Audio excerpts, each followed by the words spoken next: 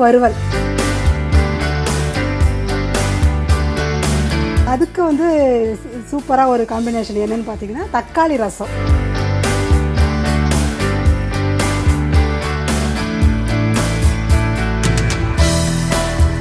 Taste Attahasam.